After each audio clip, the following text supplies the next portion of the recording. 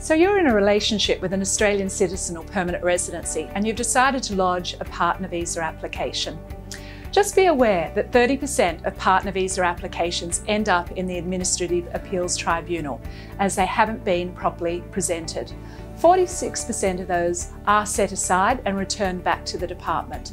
So whilst you're trying to perhaps save money without using an agent, you've ended up be becoming a very costly exercise because the onus is on the applicant to present the best application, not the case officer requesting further evidence and giving you an opportunity to provide additional information.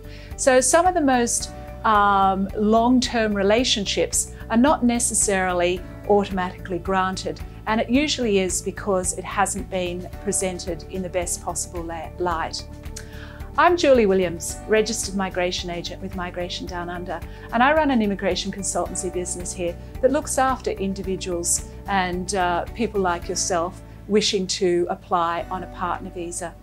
We take out, um, we, we simplify the process for you and present the best case forward so that you can be assured that you will receive um, a streamlined processing with the Department of Home Affairs. It's through our expertise, our longevity and our experience and the volume of applications that we put forward that we're able to advise on current knowledge, not something that has been done in the past, but current knowledge as we're dealing with partner visas on a daily basis.